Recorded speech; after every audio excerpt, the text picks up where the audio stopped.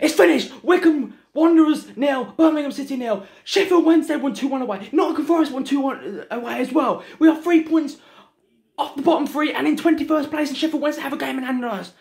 Karanka out tonight. I don't care. People are saying, oh, you know anything about football because you want Karanka out. What are you saying now? How can you be still? How can you still be Karanka Oh, we turned the corner against Middlesbrough, haven't we? We beat them 1 0. A lucky goal. A lucky goal. He'd made no substitutions since the 90th minute. No substitutions. And the one substitution he did make, we brought on George Friend for Ivan Sanchez to protect the nil, to protect the nil nil, to protect the nil nil. Get him out. Kareem Harper didn't come on. The new striker didn't come on either. Get him out tonight. I want him out. I don't care.